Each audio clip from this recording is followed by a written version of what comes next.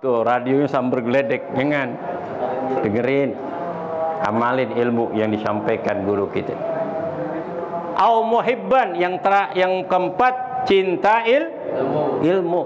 Pak Ustaz, Bapak Yusman, saya ini nggak bisa ngaji karena pulang malam mulu, tapi saya cinta banget mengaji. Walaupun saya kagak ngaji, ini besok giran pengajian tuh konsumsinya udah ada belum minggu depan? Belum. Nih kasih duit 2 juta dah. Biar jamaah enak makannya, biar saya dapat pahala. Alhamdulillah. Ngaji kagak, dengerin kagak, cinta.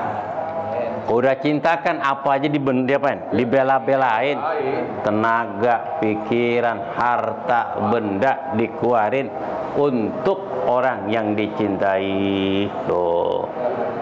Wala takun khomisan, jangan kamu yang keempat. Jadi orang alim kagak, belajar ilmu kagak, dengerin kagak, cinta ilmu, gedek doang ilmu, berisik banget itu speaker. Kecilin, kecilin, berisik, gedek banget sama pengajian. Nanti kalau udah mati, lu mau ke mana gue tanya? Yang nyolatin siapa? Orang yang ngaji. Suatu saat kita butuh. Mau tasakuran rumah, mau nggak mau kita orang panggil orang musola. Dulu orang musola kita gedegin dah. Kita salahin mulu. Eh giran ada hajat mau gimana? Jangan datengin. Jangan datengin tuh. Bayar utang. Bayar utang. Ribet ntar. Orang kita kan pindah rumah tasakuran. Betul gak? Tuh, Anak sunat tasaku sakuran. Mau nikahan tasakuran.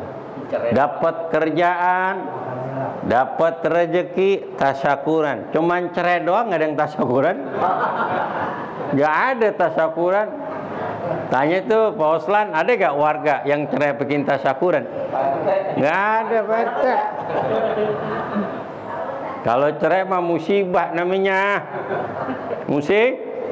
Musibah puluhan tahun udah buat keluarga. Eh, tahu cerai. Mau ngapain usia ada 63? Udah meremis. Mau siapa nanti tuanya? Betul gak? Tuh, jangan ngikutin hawa nafsu. Jangan mengikuti keinginan-keinginan kata orang. Belum tentu nikmat kecuali Bapak Haji Usman. Ya enggak? Dia mah beda jalurnya. Dia mah jangan Pak Janepi, jangan ngikut tiga dia. jangan jalur itu mah. Audio Jungle.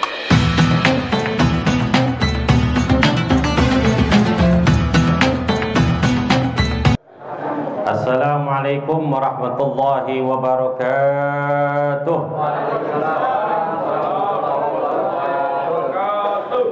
الحمد لله الحمد لله الذي شرفنا بقدوم شهر العظيم شهر رمضان فيه ليلة خير من ألف شهر وأنزل الله القرآن لعبده ليكون للعالمين بشيرا ونذيرا. أشهد أن لا إله إلا الله وحده لا شريك له وأشهد أن سيدنا مولانا ونبينا محمدا عبده ورسوله والحبيبه وخليله. اللهم صل وسلم وبارك وعظم على سيدنا مولانا محمد وعلى آله وصحبه wa man tabi'ahum bi ihsanin ila yaumiddin amma ba'd. Yang kami muliakan para asatid, para hujjaj, para orang tua bil khusus ketua musalla zikroh orang tua kita ayahanda Bapak Haji Usman dan Bapak Sa'ari yang kita muliakan Bapak Haji Jenan, Bapak Ustaz Hanafi, Bapak Budiman Bapak Cepi, serta youtuber Malim Ahmad Fikri sekaligus ketua RT kita, Bapak Haji Oslan Suyuti SE, dan seluruh para jamaah yang hadir, mohon maaf tidak menyebutkan satu persatu, namun hormat takdim kepada beliau tidak mengurangi sedikit pun. Masyarakat muslimin jamaah salat tarawih di musola Az-Zikra yang dimuliakan Allah Subhanahu wa taala. Alhamdulillah wa syukurillah. Tak terasa kita memasuki tanggal 12 di bulan Ramadan pelaksanaan solat tarawih yang ke-12 dan puasa yang ke-10 puasa yang ke-11 begitu indahnya bulan Ramadan bulan yang penuh berkah kita telah masuki tanggal 12 di bulan Ramadan. Saking indahnya saking enaknya kita beribadah. Saking khusyuknya kita beribadah. Saking tentramnya hati kita di dalam melaksanakan ibadah puasa penuh dengan keikhlasan mendekatkan diri kita kepada Allah Subhanahu wa taala. Baik tadarusan Al-Qur'an yang kita baca tahmid dan zikir salat tarawih yang kita laksanakan hidupkan malam-malamnya dengan melaksanakan salat baik solatul tahajud dan ditutup dengan solatul witir itulah keindahan yang kita dapatkan tiga bulan hanya di bulan Ramadan dalam satu tahun sekali. Nabi SAW beliau bersabda Inna Allah farada alaikum syiyamar Ramadan wa sunantu qiyamahu man shamahu wa qiyamahu iman wa tisaban Gufira dhunubahu Gufira dhunubuhu kal yawma waladati ummi Sungguhnya Allah Ta'ala telah mewajibkan puasa di bulan Ramadan. Wa sunantu qiyamuhu. Dan aku kata Nabi mensunnahkan untuk melaksanakan salatul tarawih. Man somahu wa qiyamahu imanan wa ihtisaban. Siapa saja yang puasa dan melaksanakan solatul terawih karena iman kepada Allah dan mengharap rahmat dan ampunan dan keredoannya kesempurnaan pahala yang Allah janjikan kepada mereka. Maka Allah akan mengampunkan semua dosanya sama seperti bayi yang baru lahir dari perut ibunya. Alhamdulillah kembali kita kepada Allah taala. Di hari kemenangan nanti akan menegakkan fitrah kesucian yang Allah ampunkan semua dosa kita. Alhamdulillah maka bulan Ramadan bulan yang penuh berkah. Doa kita dikabulkan Allah taala kakala masuk di bulan Rajab Allah barik lana fi Rajabah wa sa'bana wa balikna ila Ramadan. Ya Allah berikanlah kepada kami keberkahan. Bulan Rejab, bulan Sya'ban Panjangkan umur kami sampai datangnya bulan Ramadan Bulan Ramadan adalah bulan yang penuh berkah. Saking berkahnya ini bulan Ramadan Awalul rahmah wa asatuhu magfirah Wa akhiru ikun minan nar. Saking berkahnya ini bulan Ramadan Kata Nabi awal rahmah. Awal permulaan sepuluh awal adalah rahmat Allah Subhanahu wa taala. Makanya orang tua kita apabila masuk awal permulaan tuh bulan Ramadan untuk memberikan semangat kepada putra-putrinya untuk melaksanakan ibadah puasa ayam kesayangan itu ayam jago tuh dipotong buakal sahur Orang dulu makan ayam itu cuman mau puasa doang, sahur. Yang lain dijual. Kita makan ayam udah berak kapur baru. Baru kan? Baru dipotong. Tanya Bapak Jusman, saktinya Bapak Ali, nggak apa-apa tuh. Sehat sampai sekarang, cucunya sampai 15. Alhamdulillah berkah tuh wa ausatuhu magfirah ni kita masuk pasal yang kedua tanggal 12 di bulan Ramadan al magfirah adalah ampunan Allah taala. Kita meraih ampunan Allah Subhanahu wa taala ke-11 sampai ke-20 Mohon ampunan dan keridoan Allah Ta'ala. Siapa saja yang masuk pada tanggal 11 sampai 12 pada hari-hari Ramadan Dia tetap istiqomah menjalankan ibadah puasa Terus istiqomah tadarusan Al-Quran. Terus istiqomah melaksanakan solatul terawih Terus berakhlakul karimah. Terus berbagi dan bersyukur dan bersabar Di dalam melaksanakan ibadah.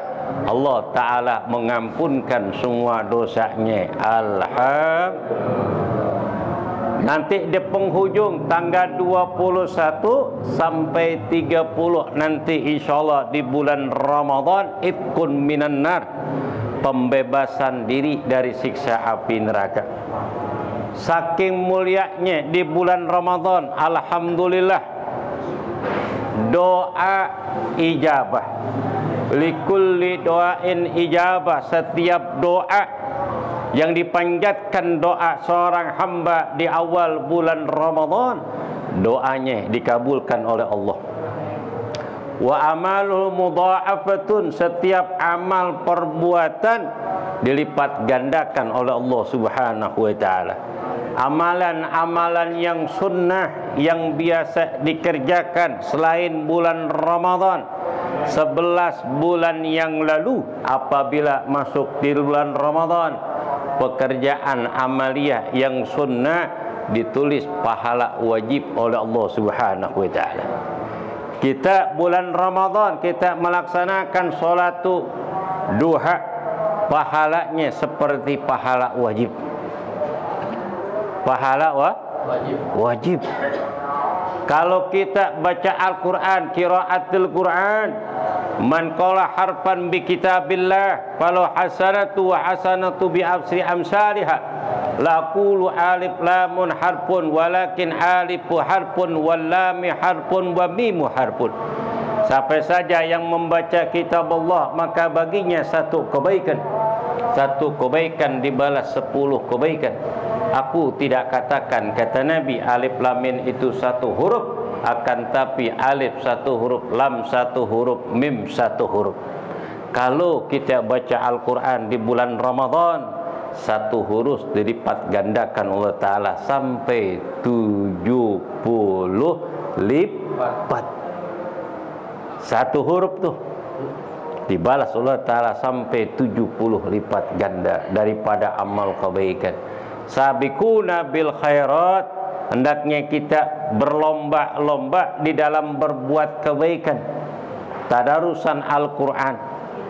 Kita enggak biasa megang Quran. Jarang tuh Quran ditengok jarang dipegang jarang dibaca. Kakala datang bulan Ramadan Alhamdulillah Quran jadi rebutan. Quran jadi rebutan, rebutan.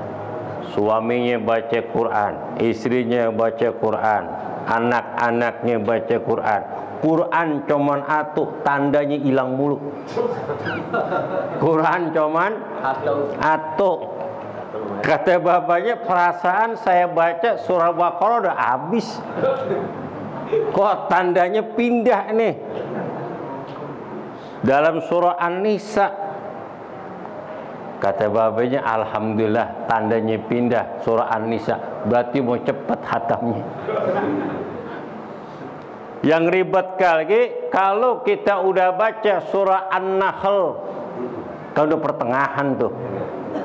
Eh atau pindah. Pin? Pindah. Surah Al-Imran. Lu Allah turunnya. Jauh bener Kawe ular tangga, main ular tangga. Makanya Quran harus kita beli banyak.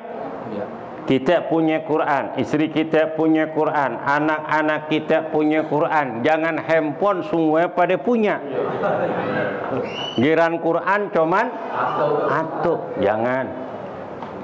Iqra'ul Quran fa ya'ti yaumal qiyamati safian wa sahidan li ashabih rawu Bukhari Muslim an Abi Hurairah Bacalah Al-Quran Sungguhnya Al-Quran nanti akan datang pada hari kiamat Menjadi saksi dan memberikan syafaat kepada orang yang membacanya Jadilah keluarga kita waj'al ahlina Qur'aniyan. Jadikanlah keluarga kita ini keluarga Qur'ani. Walaupun kita enggak apal Quran tapi kita gemar, demen, cinta baca Quran. Abdalu ummati hamalatul Quran. Paling utama umatku adalah penghafal Quran. Kalau kita enggak hafal Quran tapi kita menguasai bacaan Al-Quran sama pahalanya. Apalagi kita memahami ayat-ayatnya. Kita mempelajari ayat-ayat Quran yang biasa kita ngaji setiap minggu malam sen kajian tafsir Al-Quranul Karim. Alhamdulillah. Itu luar biasa. Setidak-tidaknya kalau kita punya keluarga, keluarga kita enam, ini orang Betawi enam itu enggak banyak sedang. Kayak makan toprak tuh, cabenya dua sedang. Orang Betawi kalau anaknya enam sedang enggak banyak. Jangan jadi insinyur semua, jangan jadi dokter semua, jangan jadi pengusaha semua Jangan menjadi pedagang semua. Salah satu dari anak kita yang enam, salah satu adalah yang kita didik agama. Penghafal Quran yang mempelajari ilmu Allah Subhanahu wa taala, mengetahui ilmu nahu, ilmu sorok, ilmu apa? Balaghah, mantek, bayan, ma'ani apalagi dia memahami ilmu fikih, ilmu syariah. Kuasai itu ilmu syariah. Itu Masya Allah. Kalau kita punya anak waladun soleh, Alhamdulillah, girang banget. Ada harapan tersendiri di dalam hati kita. Kakala kita meninggal dunia, itu anak yang soleh menjadi kebanggaan kita apabila kembali kita kepada Allah Subhanahu Wa Taala akan dibanggakan oleh Allah di antara para makhluknya di hari kiamat nanti orang tuanya tersebut dipanggil di padang masyar.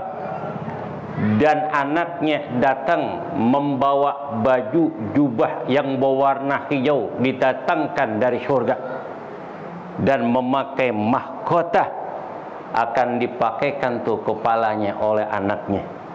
Ini keluarga yang sukses yang menghidupkan sunnah Rasulullah Sallallahu Alaihi Wasallam yang menyebarkan agama. Kalau umpama anak kita enam, nggak ada yang apal Quran, nggak ada yang pesantren, setidak-tidaknya dasar agama itu ada. Kayak jaun mau juga. Tuh gitu tuh jaun namanya Oji tuh. Kalau saya ngaji samping babanya kanan anaknya, belakang anaknya. Percis banget ke Baba Ali tuh. Fotonya ada masalahnya sama gua. Senggangganya kita menjadi bangga nanti di hadapan Allah. Kun aliman, jadilah kamu orang alim au muta'alliman kalau kita enggak bisa jadi orang alim senggangganya kita belajar khairukum fil abd alimun wa muta'alim. Khairu abdi fil ardi sebaik-baiknya seseorang yang ada di bumi ini adalah orang pengajar dan orang yang bela belajar. Kun aliman. Jadilah kamu orang alim. Kalau enggak jadi orang alim au muta'alliman ataupun menjadi orang yang belajar ilmu. Makanya belajar ilmu agama itu enggak ada batasnya. Utlubul ilma minal mahdi ilah lahdi. Carilah ilmu dari sampai apa?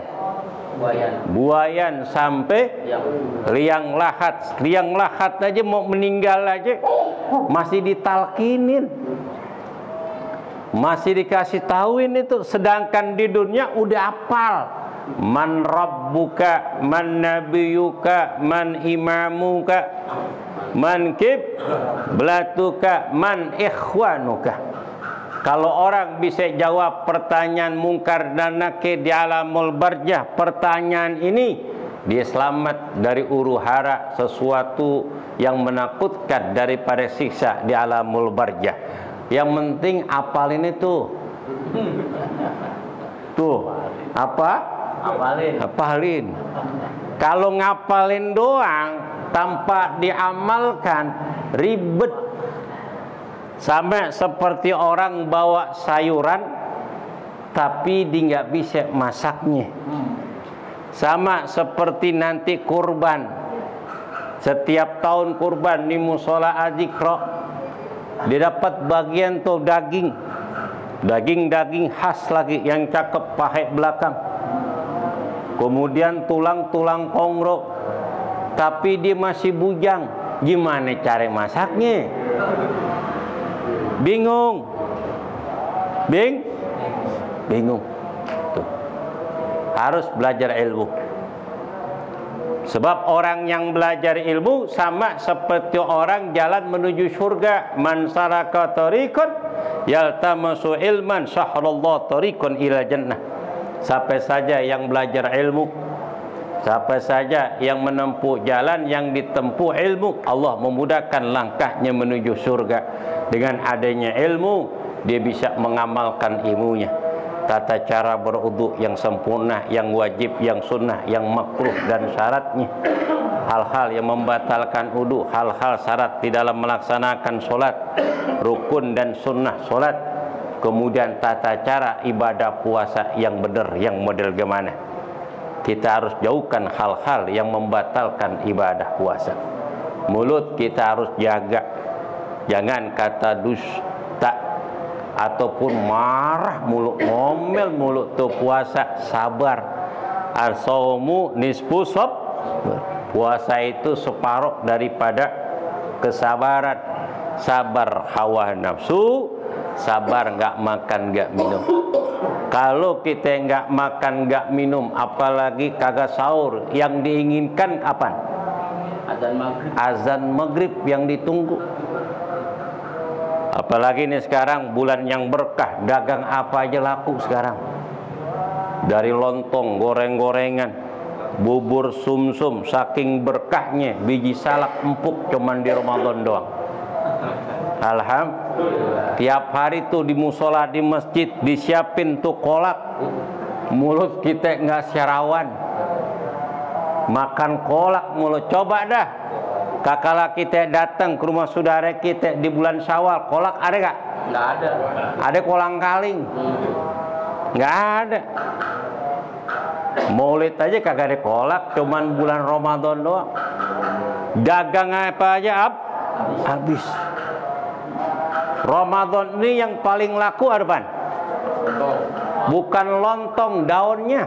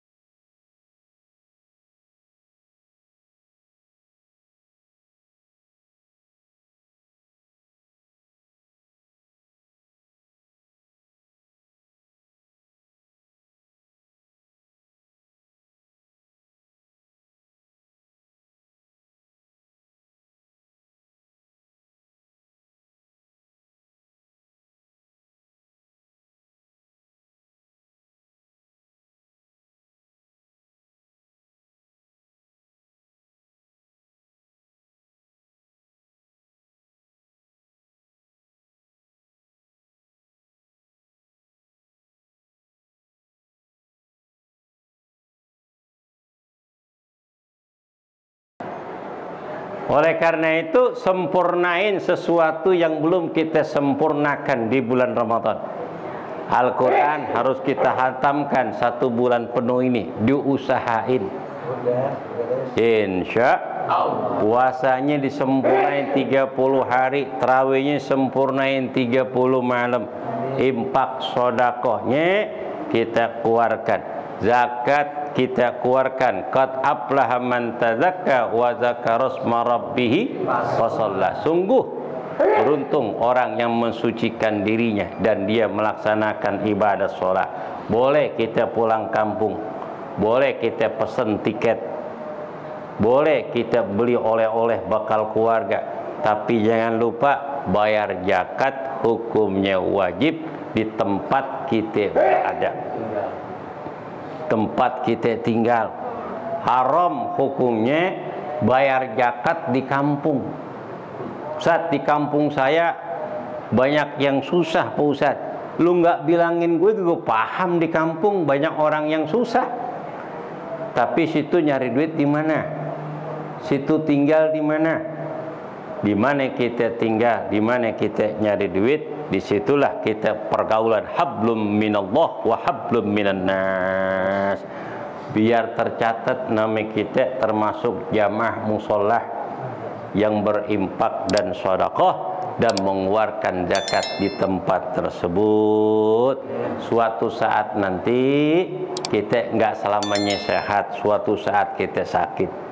Kita enggak selamanya memberi suatu saat nanti kita menerima Enggak selalu kita jaya hidup bahagia dan tertawa. Suatu saat nanti kita akan menangis dan bersedih. Tilka ayam nudawil hulinas. Begitulah kesuksesan dan kejayaan kami putar balikan kepada manusia agar mereka berpikir. Inilah yang saya bisa sampaikan. Mudah-mudahan ada manfaatnya. Bila topik wa hidayah beridha walinafu minkum. Assalamualaikum warahmatullahi wabarakatuh.